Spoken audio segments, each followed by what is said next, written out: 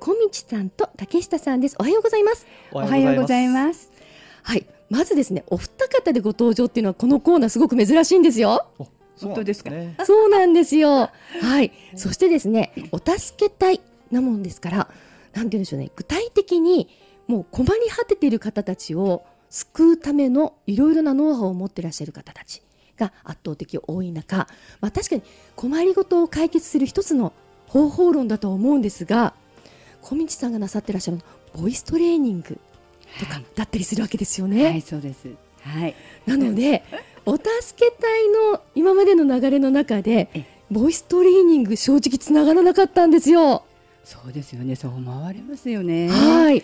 えっ、とお助け隊のあのセミナーが立ち上がった時、はいはい、えー123回目ぐらいの時にですね、えーと呼吸法とフェイシャルマッサージを合わせて、呼吸法は腹式呼吸なんですけどもね、それでねちょっとね、あのーやらせていただいたんですよ講師を。その時にあのー、今まで呼吸法はいお腹から声出してこうやって呼吸と合わせてマッサージすればいいんですよなんてことだったんですけど、はいはい、具体的に腹式呼吸と合わせてなんていうのをやってみて、はい、お助け隊の方でやらせていただいたんですね。なるほど、はい、3回目ということはもう本当に初期の初期ってことですね。す。はい、ついこの間5周年迎えましたってことで、はい、あのお話しいただいているので、はい、もう要するに5年前ってことですよね。そうなんです。すごい。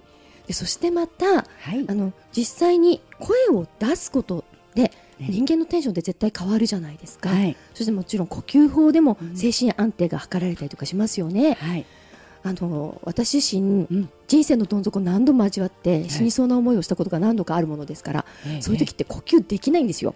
できませんよね。できないんです。あと驚いちゃう時とか呼吸できない、ってなりますよね。そうなんです。そうなんです。はい。はい、そんな時にこそ本当に腹式呼吸の深い呼吸ってすごく重要で、はい、自律神経の狂いを整えていくことに役に立つんじゃないかなと思うんですけども。本当にその通りなんです。もう自律神経を安定させる、元気に頑張ろうっていう神経と、ちょっとお休みしてゆっくりしようねっていうじあの神経を、両方のバランスを取るっていうのが腹式呼吸なんですね。なるほど。ということでやっぱりそのお助け隊に SOS されている方には呼吸法重要ですね。はい、そうだと思います。重要だと思います。はい、はい、そしてまたもう一つの顔として、はい、福祉施設、はい。まあ、老人ホームさんとかその関連のところとか、そういうところにもいろいろなビジネスというかこうサービスを提供されに行ってらっしゃるっていう話も伺いまして。そうなんですそうなんです、はい、もう本当に今から10年ぐらい前になるんですけど、はい、ちょっと歌の方をあの教えてほしいということで、はい、あの特別養護老人ホームの方であのおじいちゃんとおばあちゃんと、皆さんで歌を歌っていただくっていうことをさせてもらってます。なるほど、こうなってくるとやっぱりちょっとお助け隊っぽいですね。なんとなくそう思います？はい、思います思います。OK ですかこれで？いや正直なところ、はい、本当に落ち込んでしまってるお先真っ暗な時って笑えないんですよ。そうですよね、はい、目の前で面白いネタがあったとしても自分だけ冷めてしまってて笑えないんです、はい、笑うのって思いっきりエネルギーがいるのでですよね、はい、でも逆にその笑うエネルギーがちょっとでも出始めると、そこをきっかけに浮上できる、うん、こう好循環のチャンスも巡ってくるかなっていうふうに思うので、声を出すこと、呼吸すること、はい、そしてまた実はお隣にいらっしゃるね、竹下さん、はい、お笑いのプロ。そうなんです。もうお笑いと言ったら竹下さんみたいなね。そうですね。そうなんです。そういうことにしといてもらってもいいですか？はい。今日は。なんかこうすごく穏やかで、ええ、あのこの竹下さんからどんな感じのネタが繰り広げられるのかが正直パッと今の時点ではイメージがつかないんですけど。あのイメージがつかないっていうのがそういうイメージで、はい、あの本当にあこういうことだったんだってのすごく面白いです。ちょっとした意外性もあり。はい。はい。なるほど。ええ、ということでお二方で、はい、こうコンビを組むコンビを組むっていうとちょっとおかしいかもしれないですけど、協力関係を持ちながら、はい、本当にいろいろなところにこう笑いとか、はい、明るい声を届ける、そんなお仕事されてらっしゃるんですよね。そうなんです。あの都内のジョイサウンドの直営店で、はい、あのクリップミュージックはい、そこのあの敏腕営業マンということでもある竹下さんなんあですけども、らはい、そこであのボイあのボイストレーニングボーカルトレーニングもさせてもらってるんですね。であの女優の七海奈々さんこの間9周年デビュはい。ー9周年で,、であのサプライズゲストでちょっと一曲歌わせてもらったりしたんですけども、はい。いろいろその本当にここで T スポットが当たるところと当たらないところとはい。あのいろんなところで自分の歌、ええ。それからあのその向かい向き合った人の歌声がどんな風に輝いていくんだろうなっていうのをその場で見させてもらってそこではジャッジはしません。はいはい。その場で出会った声っていうのがものすごくあの自分にしてみたら、はい。あの喜びであったりえ頑え張ろうっていう糧だったりします。はい。そうなんですか、はい。い、や正直ですね私、歌が歌える方はい。もうそのことだけで尊敬なんですよ。そうですか。はい。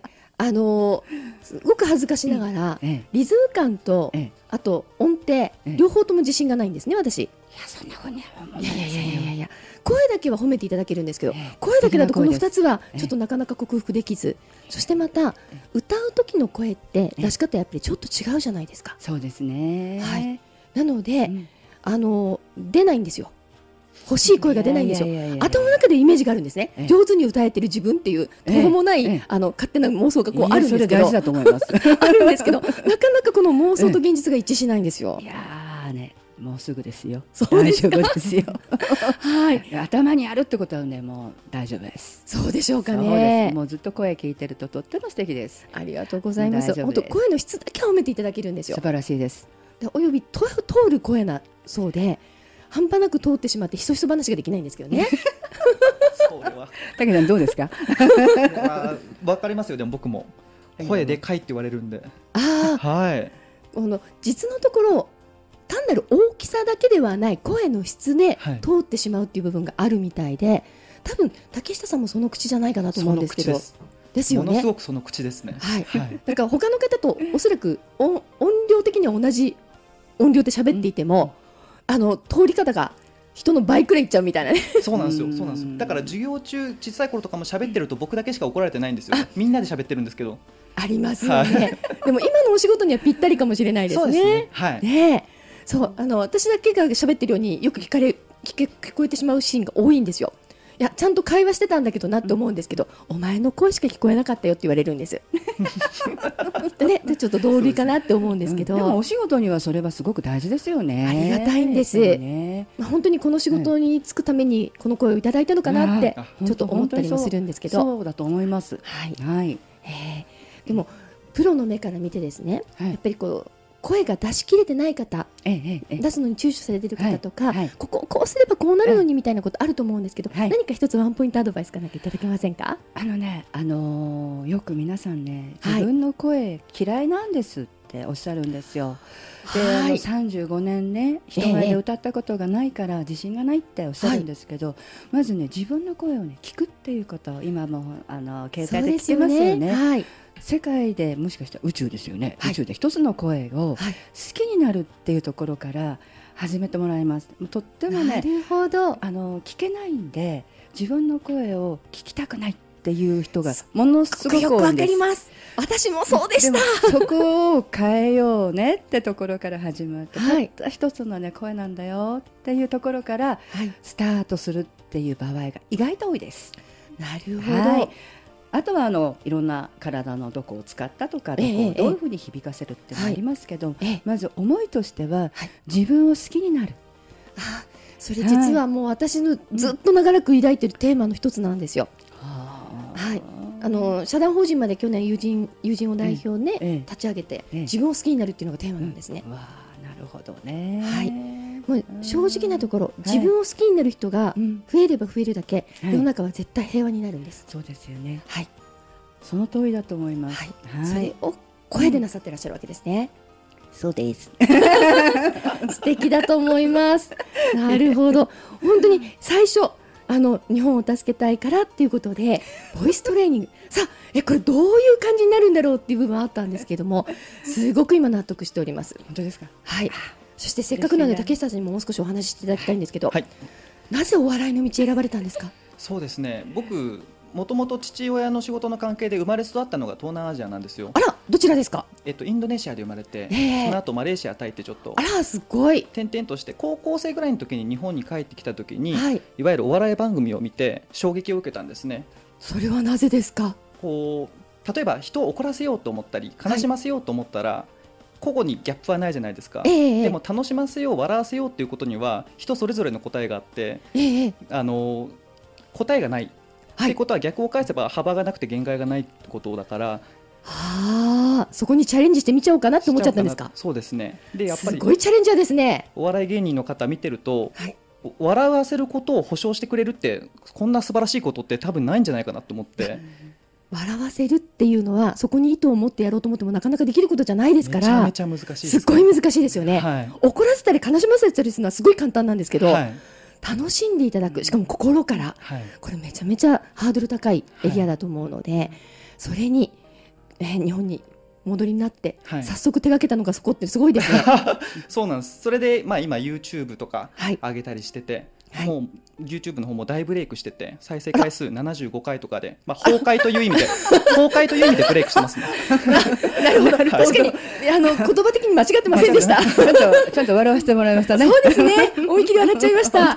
了解です。じゃあ本当の意味のあの世の中的に通用する方のブレイクをぜひともそうですねしていただけるように、芸を磨いていただきたいなというふうに思います。はいいやちょっともっといろいろお話伺いたかったんですけど、お時間になってしまいまして。